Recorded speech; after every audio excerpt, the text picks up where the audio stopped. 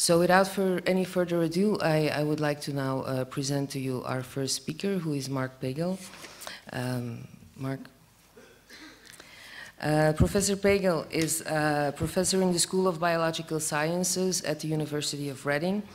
Um, uh, I'm quite a fan of his work because he's one of the first people who proved um, the, on a molecular basis that there is evidence for punctuated equilibria, that it is not just a pattern that we can see in the fossil record.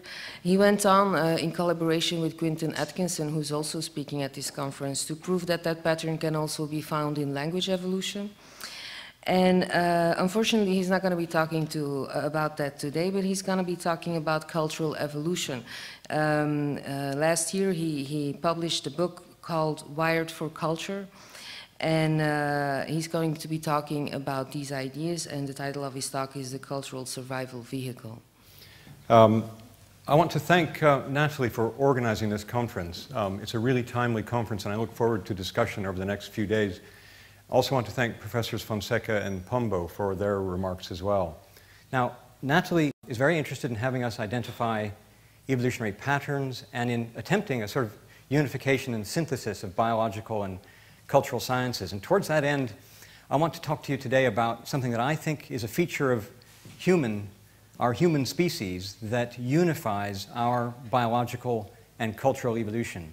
And what I have in mind is a extraordinary set of evolved tendencies in our species to construct and then defend small tribal societies to which we show a striking and sometimes alarming allegiance and devotion. And I call these small tribal societies cultural survival vehicles to emphasize the fact that they have really functioned throughout our evolution as a second body, tantamount to our biological body, but a second body that almost wraps us in a protective layer, not of skin, but of knowledge and skills and technologies and cooperative people who help defend us as part of our society, part of that body, against other cultural survival vehicles competing for the same lands and resources. And I think this attachment, this part of our psychology, is enormously responsible for large parts of our biological, physiological, morphological, and cultural evolution. These pictures here are just to give you a sense of the nature of that tribal identification and allegiance. And what I'm hoping to capture with these pictures is the sense of how we, as individuals, subordinate our individuality to the tribal group. So in each of these cases, you see people who are dressed up in funny colors and so on, and funny costumes, projecting their identity not as individuals, but as part of a group to which they show probably without even understanding how or where it came from, this striking degree of allegiance and devotion. And I'll try to illustrate some of that uh, in my talk over the next few minutes. We can even see it on the streets of Lisbon, because here, of course, is the Iberian Mask Festival, where people are dressing up and again projecting a sort of Iberian identity.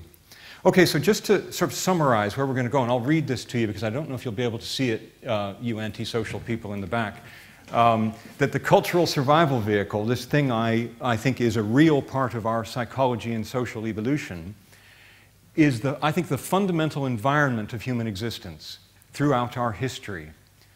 Homo sapiens is adapted to this environment, I say. It's the most powerful means, this cultural survival vehicle, our tribal societies. It's the most powerful means ever evolved, I think, for converting new lands and resources into more humans and their genes. So it's enormously responsible for our survival, our protection, our prosperity, and our reproduction, this vehicle. And I'll give you examples of that throughout the talk. It provides unsurpassed protection and prosperity. When I'm, uh, by unsurpassed, I mean in connection to all other animals.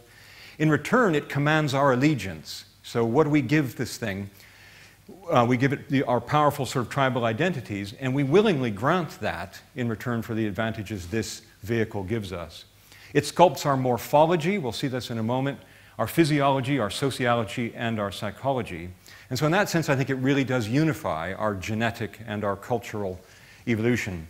And last, I say it's responsible for, and I say is it the cause of, I think, what makes us human uh, our cooperation, language, religion, and the arts, and individual differences. And I discuss all of these things in detail in my book. But today, what I'll do, at the very end of the talk, is focus on how I think this cultural survival vehicle has sculpted individual differences, real genetic differences amongst us. Okay, let's just get a sense of, of what the manifestations of this cultural survival vehicle are. And we all, we all know that slightly strangely and weirdly, as a species, we will dress up in silly matching shirts and go to sporting events where we'll, where we'll stand alongside people we've never met, very close proximity for hours at a time, but we all share the identity of being a member of some group, which in this case is supporting some team. And we direct our identities in the form of cooperation with each other, but also in the form of competition with the other people dressed in a different set of silly matching shirts across the stadium from us. And so here again, we're seeing the manifestation in our modern behavior of this sort of tribal identity. These are silly shirts. We do silly things when we dress up that way, but the group somehow um, sanctions this kind of behavior. Indeed, it's so strong that I think we can feel that we somehow subordinate our entire identity to the group. And this man, I think, painted to become the national flag of his society is somehow showing you that he is just an individual in this larger vehicle to which he has granted his allegiance and devotion. Indeed, I think that the power of this attachment that we have to our sort of tribal origins is so great that we can think it's tantamount to what animal ethologists used to call imprinting before that term was grabbed by geneticists. And the animal ethologists used to think of imprinting in the following way. You'll probably all remember the old photographs of the ethologist Konrad Lorenz, who discovered that if he was around some baby ducks when they hatched, if those ducks' parents had died or gone away for some reason, just weren't in the vicinity, when those ducks hatched, they would, he called it imprint on him, somehow see them, see him as their um, parent, and he could get out of the water and walk around, and those ducks would follow him, even so far as following up the street. And I think in some ways we imprint on our society, the society into which we are born, in a way that is really quite similar to imprinting in animals, and in a way that's difficult to shake off. It's difficult for us ever to relinquish that tribal identity once it's been inculcated into us by our parents from birth. It's something that's alarmingly easy to teach to children is this sort of tribal identity. And yet, what you should all realize is that it's a completely arbitrary identity. Each one of you could have been born somebody else, and you'd have an equally strong identity into whatever culture it was you were born. Now, these cultural survival vehicles are capable of, of, of extraordinary and sublime acts of coordinated activity. And you might say that, well, lots of animals can do coordinated activity like birds flying around in flocks or, or killer whales in their kind of circling motion when they catch fish and so on. But what's extraordinary about human society is that we can engage in these sublime, coordinated behaviors where the behaviors are things we've never done before. They're not part of our natural repertoire. We seem to get great pleasure out of group activity, coordinated group activity, and especially when that activity is directed at vanquishing some foe. So here again, we're seeing that this vehicle somehow acts in a way to coordinate our activities, often in competition with other vehicles competing for the same resources. And in some sense, all of our sporting events are just socially sanctioned behaviors of our old tribal identities playing out around the world. Somewhat chillingly, um, the group can sanction normative behaviors, behaviors that if you did them individually, you would be seen as, as sort of crazy, a nutcase, a mental case. But within the group, your behavior is seen as normative. It's okay. You can do it. And the group somehow sanctions this odd, peculiar behavior. Well, part of being a member of this sort of cultural survival vehicle is that we are all in this vehicle together, cooperating almost like cells in a body, or bees in a hive, or ants in a colony, to promote and project this vehicle. And so we see that those of us within our society show great cooperation towards people we've never met and who could never repay our kindness. So we have this, this strange altruistic behavior that we show all the time. We hold doors open for people we've never met and will never see again, and who might never hold a door open for us. We give up our seats on trains and buses and so on, again, without any hope of this being reciprocated. And all of you, the trouble with speaking to humans is all of you take this completely for granted. But I put it to you imagine that this room right now was full of 150 dogs or baboons. They wouldn't be sitting here behaving so naturally, socially, cooperatively, and altruistically as you, and you'll never see a gorilla or a chimpanzee, your close genetic relatives, hold a door for someone or give up their seat on a train for someone. And yet, these are deep parts of our behavior that we, we do without even thinking and take utterly for granted. And elsewhere, I've argued that these behaviors can be seen as, in some sense, um, I hope you can see that, our altruism is sort of the price of admission to the shared knowledge, technologies, and cooperation of the cultural survival vehicle.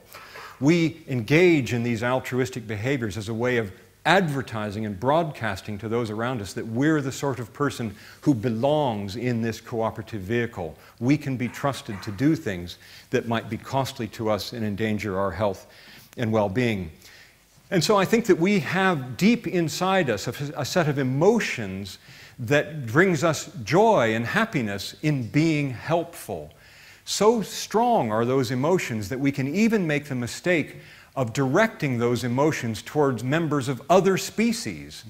And you can see this here in the rather rash behavior of a man last year. I hope you can see that in England. Uh, last year it got very cold in the winter, and one of our rivers froze over, or nearly froze over. This man's dog, um, which you can barely see here, wandered out onto this river and fell in. So the man risked his life, took off all his clothes except for his pants, took off all his clothes, and wandered out onto the ice to save his dog. Now, this is crazy. This man was endangering his life and his future reproductive set to save a set of genes that hasn't been coordinate with his for millions and millions and millions of years, the genes of his dog. But that just shows you how deeply helpfulness and cooperativeness is as a part of our psychology because it's a, it's a set of behaviors that brings us returns in the form of help and cooperation from others. And so, somewhat less sort of facetiously or more seriously, we see people doing things that can really endanger their health. This man here has donated a kidney to this young woman whom he's never met and who's never going to give him a kidney back. Uh, he's done that just because it probably makes him feel good to do it. And it can extend this behavior even to risking our lives um, in war to protect our cultural survival vehicle. Um, here pictures from World War I or World War II. And we might even give up our life in support of an idea, as this monk is doing here, who doused himself with petrol and set himself alight.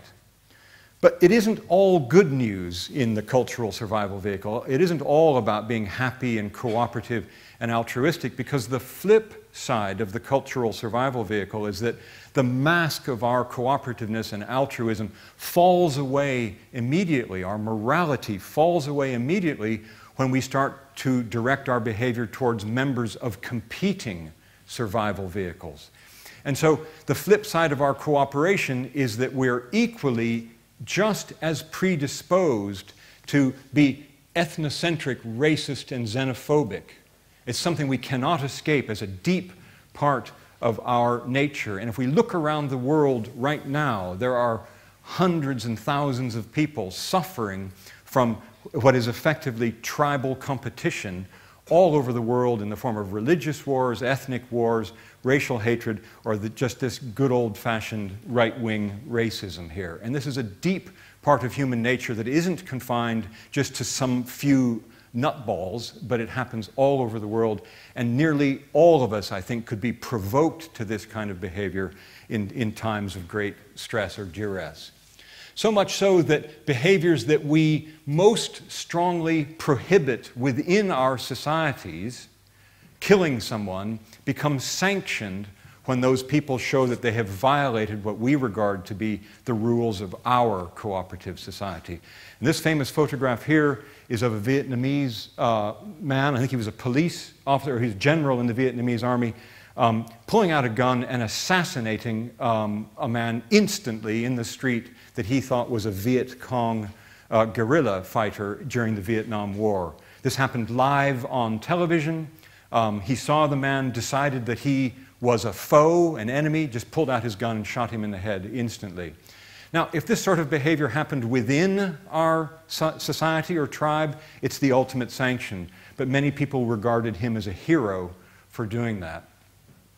Life is cheap in the cultural survival vehicle. If you break the rules of that vehicle, you can lose your life. This man here doesn't know it, but he's about to die, and over something really rather trivial. Um, this man here is about to hit him so hard in the face that he's going to fall down and crack his head on the floor and die, all because this lady here shouted that he had jumped the queue. He'd gone to the front of the queue. He hadn't waited his turn to buy a packet of cigarettes. And when you break the rules of the tribal society, the worst sort of behavior can emerge.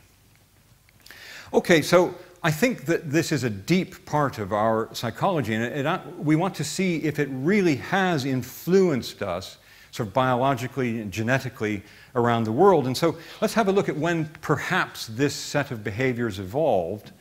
And this is just suggestive. We can have a look at this slide here, which sort of charts the evolution over the last two million years of our genus, Homo, us being Homo sapiens. And what I want you to see here is that all of these species that you'll be familiar with, Homo erectus, Homo neanderthalensis, and so on, all of these species, the width of those sort of irregular shapes on, that, uh, on this figure, the width of them is showing the sort of geographical extent of those species, where they're found around the world. And then something strange happens right around here, somewhere around 150 to 200,000 years ago, this new species arises and instantly, almost instantly, spreads out around the entire world. So, what is the difference? Whereas all of these species are confined to regions of the world that their genes adapt them to, this new species emerged that could adapt at the cultural level in its tribal societies by acquiring knowledge and technologies and skills, and instantly in, in terms of evolutionary time, that species spread out almost like a mushroom cloud. And I use that term advisedly because of the effect we have had on the world, spread out around the world. And it's reasonable to suppose that our kind of capacity for culture evolved about there. And this was where we started to shape the sort of psychology that really makes us human and defines our sort of tribal identities. And so what I want to suggest now is that around the world, these various tribal groups that have evolved have behaved almost like distinct biological species. And let's have a look. The first thing we recognize is that once we evolved and spread out around the world, we left behind a remarkable, just striking degree of diversity around the world. Now, these are all human beings. We all recognize that. But if we were to see these photographs of any other collection of organisms, I think we would be inclined to say they came from different biological species. These individuals are more different at the cultural level than many biological species are at the genetic level. And so we left this extraordinary degree of diversity around the world where these tribal societies were adapting to their local surroundings. So much diversity that even today there are still something on the order, those red dots are distinct uh, languages.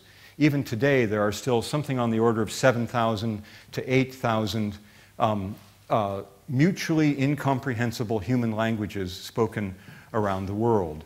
Each one of these representing uh, a different tribal society with its own customs, beliefs, religion, obviously language, uh, knowledge, skills, technologies, and, and so on.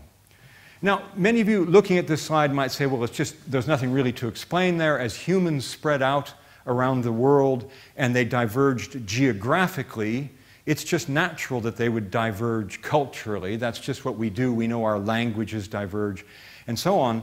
Yet this ignores the fact that the greatest diversity of languages is found not where people are most spread out, but where people are most closely packed together. Where you push people most closely together is where you find the greatest diversity of languages, almost as if these tribal societies are resisting each other's encroachment on their territories. And to see that, we can go to the island of Papua New Guinea. And this relatively small island, about the size of the American state of Texas, is home to 850 to 1,000 different human languages. That's about you know, one in seven or one in eight of all languages spoken on Earth are found on this relatively small landmass. And there are some parts, if you can see, there are some parts of the, the sort of uh, northeastern coastal regions in here of Papua New Guinea, and here, here's this enlargement of it here. Some regions along this northeastern coast where you can find a different tribal society, a different language group every few kilometers. Every few kilometers, you just walk along the coast and you will bump into a different language spoken every few kilometers. And when I first discovered this, I was, I was just astonished by this and I didn't believe it. And I had the great fortune to meet a man who was a, a Papuan man who was from this region. And I asked him, I said, could this possibly be true? And he just looked at me and he said, he said, oh no, they're far closer together than that. And sure enough, if you look here, here's a different language group every few kilometers. If you go around the corner here, you can see a whole lot of languages. I hope you can see that almost on top of each other. And so something really remarkable is going on here. And this is this tendency to form these small tribal groups that defend themselves uh, to such a degree that even pushed together in this tiny little area, they maintain their identities um, uh, against other tribal groups living next door. So much so that we can now study them almost as if they're biological species, and we see that human tribal groups divide up the landscape, the, the real biological world, just like biological species do.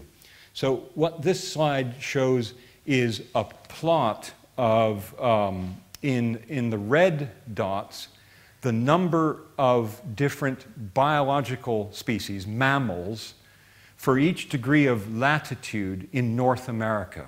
So we had some information on how many different mammal species were found at, at each degree of latitude in North America. And we can see that it, uh, there's not very many species down in the lower latitudes, and then you go up to a peak, and then you fall away. But what's really striking is that we also plotted the number of different language groups per degree of latitude in North America. And you can see that they almost fall on top of each other.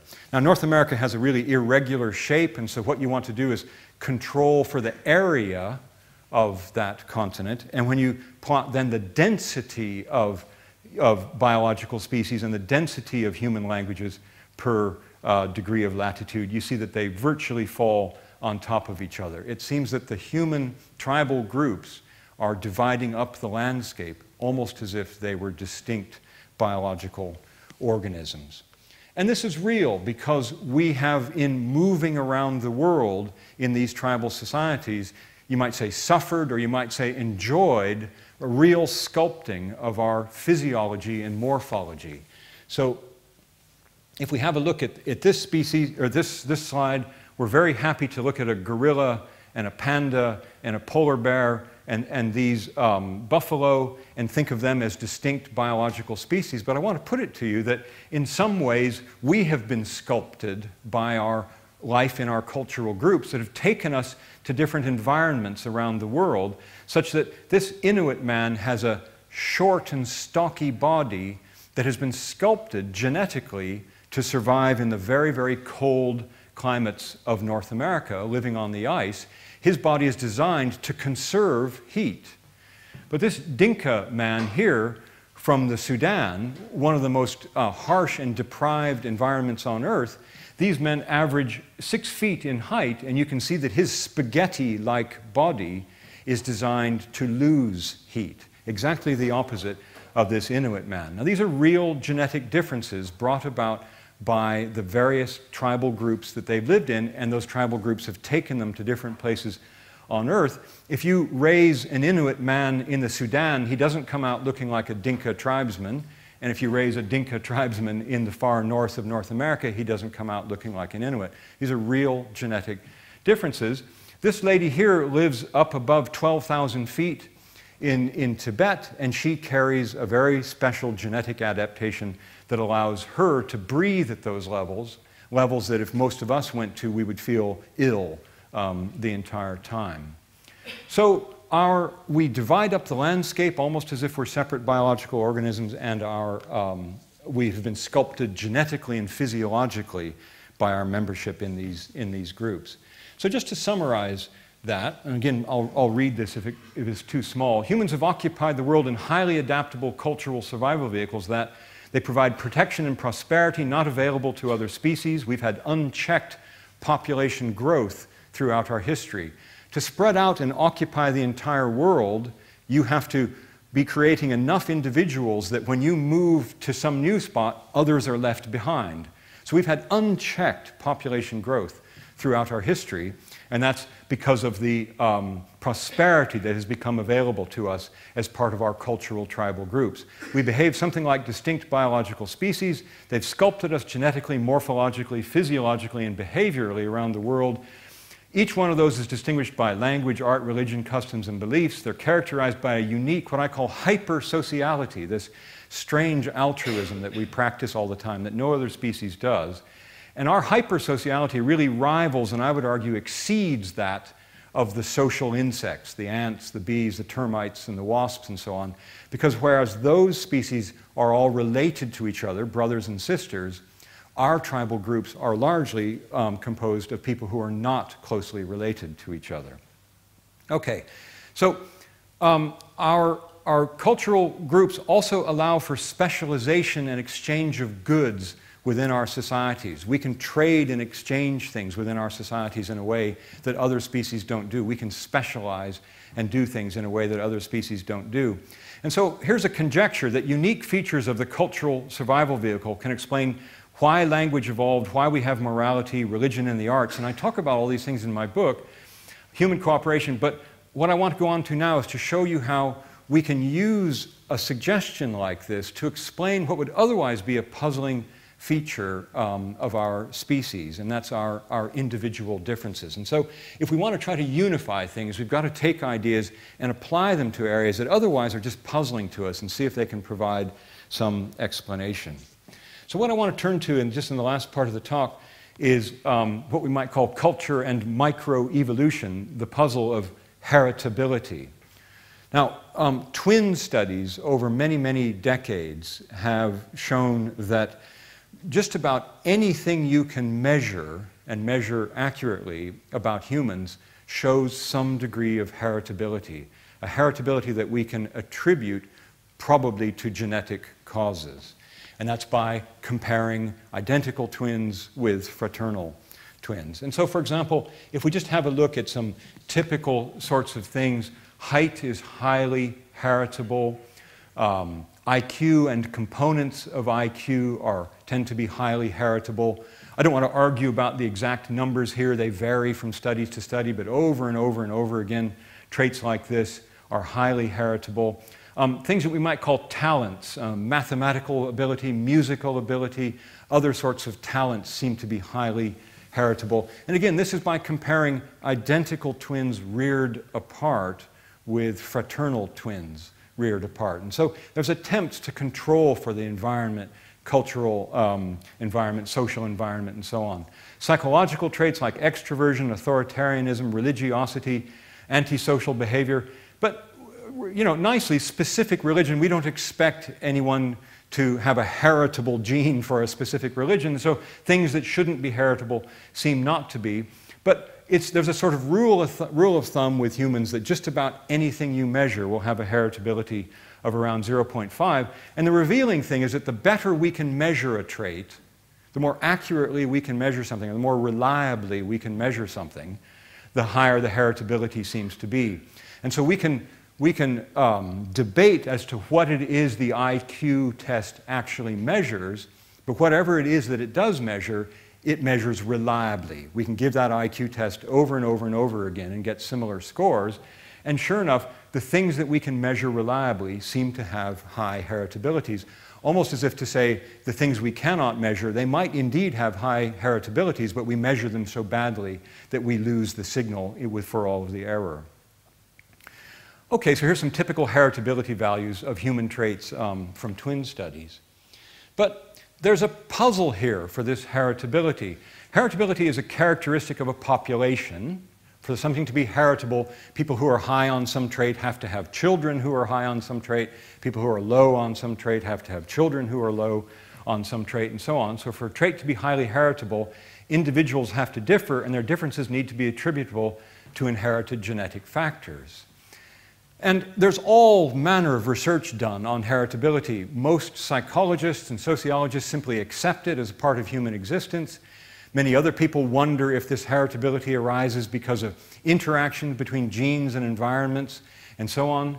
And yet, there's a puzzle here for evolutionary types because the puzzle is the following there shouldn't be any heritability at all. Um, standard genetic theory tells us that traits that are strongly related to fitness will have low heritabilities and vice versa. That is, something that is highly related to fitness, like how many fingers I have, how many legs I have, how many ears I have, how many eyes I have, and so on, traits that we think are highly related to fitness, there is no heritability for those traits because there are no individual differences. To first approximation, if you want to bet with somebody on how many ears somebody has and they're willing to bet that they have fewer than two ears, you're going to make a lot of money because there's no heritability in that trait.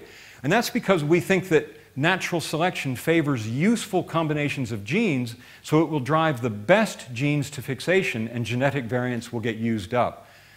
So this leaves us in a really unexpected place. Our species has very high heritabilities for traits like intelligence and talents and abilities and psychological traits. And are we really willing to accept that those traits have no relationship to fitness? That would be really rather odd. And so there's this puzzle of heritability. Why is it that genetic variance is maintained for things that ought to be related to our ability to survive and reproduce? Well, the idea of a cultural survival vehicle and a cooperative tribal group gives us an answer to that. And let's have a look because what we see in human groups is an extraordinary degree of individual differences. We can start out with this American basketball player, Wilt Chamberlain, and this American horse racing jockey, Willie Shoemaker, and they sort of represent two extremes of, um, in height. And you know, these are real genetic differences between these two guys. We also know that humans seem to show a variety of specific talents. You might be a baker, you might work in this wheel factory, you might be a butcher. I'm not suggesting that there are genes for all these things, but we seem to be able to specialize and trade and exchange the products that we make with others. And this is something that no other species can do. And so we can raise the possibility that in human societies, because we can specialize and trade what we do with others, there has been selection for us to specialize at what we're best at. Because if you do what you're best at, you'll have the most to trade and exchange with others, and so you're most likely to survive and prosper. You won't see this in any other species because no other species has this cooperative trade and exchange. Now, if we find this far fetched, we should realize that precisely the same thing has happened to the domesticated dogs. This Chihuahua and this Great Dane are the same species, all dogs can interbreed, if, if with some delicacy in some respects. But, but what these different breeds of dogs represent is a genetic response to the whims of human preferences. And what our individual differences within societies might represent and be responsible for our heritabilities is individuals responding to the various niches that human society opens up for us to specialize at things we're good at. Back in the old days, somebody that tall or somebody that short in most societies would have been very disadvantaged. But Wilt Chamberlain was able to make a lot of money and prosper as a basketball player because there's a specialty in human society for playing basketball. And if you're good enough, you can, you can um, survive and reproduce. And same thing for this very short man here. And so we can ask the question, and it should be really a fundamental question of human societies have we been sort of cultivated? By our cultural groups because we can specialize and cooperate and exchange things amongst one another? Have we been cultivated to have genetic differences that otherwise would have been used up by natural selection were we not able to trade and exchange our goods and services? And if we think this is a far fetched idea, we need only go to more um, traditional societies where we see that there are specializations, like these Navajo shamans. These are two men here who are ministering to this man here. And these two men don't provide anything of any real value in terms of a material good to their society, but because somehow they're recognized at good at healing, they can specialize at being healers in that society, and the society is willing to support them despite the fact that these men are not hunters, they're not gathering, they're not making the structures that people live in, and so on. Their role in society is to be religious healers. And the society is willing to take their product, which is healing people, and return in, in exchange for that um, a living. And in our modern world, we allow priests to do the same thing. They just speak to us and have thoughts, and we pay them to do so. And this is a bizarre feature of our societies this willingness to support people who make no real material contribution to our societies simply because we think they do something of some value. This Tiwi man here making a spear, we can imagine that there are genetic variants that might be such that some people are very, very good at making implements like this, whereas other people are good at being shamans. And again, our societies allow both to specialize, and so that genetic variance can be maintained in our societies in a way that's not available to other animal groups. Artists, the same thing. It's a bit of a bizarre thing that we have artists, artists who just paint things and somehow they can make a living. And that's because somehow we respond to their art in ways that throughout our history we've been willing to support those people and uh, give them things in exchange for the art they provide to us. And I often like to use this example of the Polynesian long distance sailing. I can imagine that in these people there were genes that were made them good at navigating on the open seas, and that those genes somehow have been cultivated in those societies. And so we have to ask ourselves the question of whether we have been genetically differentiated by our cultures to fill roles that we are good at. So, musical talents, mathematical ability, analytical reasoning, and so on might all be genetic variants that otherwise would have been used up in any other animal society. And I'm just going to close Mark, by saying minutes. that, you know, why does this matter? And this is something that we, we want to ask ourselves if we're trying to unify the biological and the sociocultural sciences. Why does heritability matter? Well, there's a curiosity to it. There's a sort of geneticist's curiosity to it. We'd like to be able to find genes for everything that is heritable. But it has real societal implications because if we really do differ in societies genetically, along lines I'm suggesting that some of us are just genetically good at things that others aren't good at, and we might be good at things that they're bad at, and so on. We differ genetically then this can have real societal implications because most of us would agree that equality of opportunity in society is a good thing. We'd like to have everyone in society have an equal opportunity to be a musician, to be an athlete, to be a mathematician, to be a writer, to be a journalist, so on. And yet, if we differ genetically in those things, if there really is real heritability related to individual differences in human societies, if we differ genetically in those things, what we might be setting up by creating societies with equality of opportunity is a genetic meritocracy. That is, we might be stratifying our societies genetically because equality of opportunity merely guarantees that everybody has an equal chance of being delivered to the door of some, opportunity, but it doesn't guarantee that everybody has an equal chance of being good at those things. And so a genetic meritocracy could emerge in a society with perfect equality of opportunity. And so, in that sense, I think this is something we want to take care of, or want to take seriously, um, and the, the, sort of notion of a cultural survival vehicle and uh, the cooperation and specialization that it allows um, gives us an insight into it that we might not otherwise have. Okay, I'm going to end there and say thank you and hope that the rest of the conference is, is this kind of uh, attempt at synthesis and unification. Thank you.